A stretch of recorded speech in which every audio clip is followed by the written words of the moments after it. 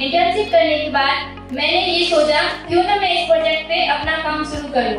और मैंने इस बिज़नेस के, और मैंने इस बिज़नेस को आगे बढ़ाने के लिए इस पे अपना मन ठाना।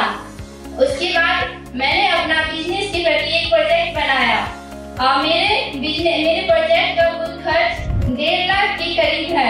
जिसमें मैं बीस हज़ार इन्वेस्ट कर रही हूँ और मुझे गोइंग टू स्कूल के माध्यम से एक लाख बीस हज़ार की सहायता चाहिए। ये सन है, इसका रे जो है वो सोलर पे पड़ेगा तो ये डीसी डीसी करंट ऑपरेट करेगा, जिससे ये यहाँ वाटर पंपिंग वो होता है, वो चालू हो जाएगा, फिर वो डीसी करंट जो है एसी में कन्वर्ट हो जाएगा, फिर यहाँ से जो पानी यहाँ से ऑपरेट होकर ऊपर जाएगा, फिर टैंक में जब पानी भरेगा तो फिर ये पानी उस पाइप के थ्रू वहाँ वाटर खेती में इरीगेशन के लिए यूज़ होगा।